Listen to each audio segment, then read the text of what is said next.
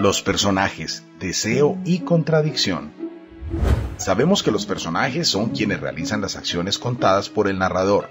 Pueden ser principales o secundarios y se mueven en la historia por dos conceptos fundamentales, el deseo y la contradicción. ¿De qué se tratan entonces estos dos conceptos?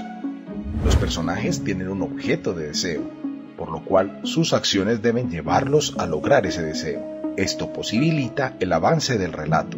De tal manera, se genera un conflicto entre el personaje, su deseo y lo que se le opone.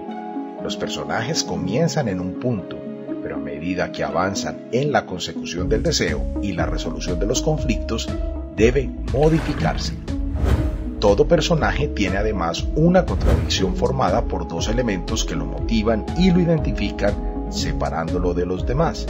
Estos dos elementos en contraposición generan conflicto y hacen atractivo al personaje. El primer elemento de la contradicción debe ser verosímil dentro de la historia. El segundo se lleva al extremo.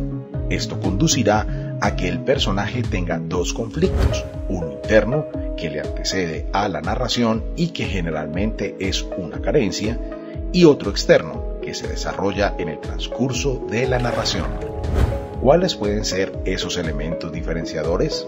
Por ejemplo, en la película El sexto sentido, película del año en 1999 y dirigida por M. Night Shyamalan, el personaje principal es un niño que ve gente muerta. El otro personaje principal es un psicólogo de niños que está muerto. Este tipo de características los diferencian de otros personajes y son trascendentales en el desarrollo de la historia. Ahora, si quieres aplicar lo aprendido en esta corta explicación, identifica la contradicción de los personajes en alguna serie o película que te guste. Frozen, Volver al Futuro, etc. Continúa con elementos fundamentales que participan activamente en la construcción del relato.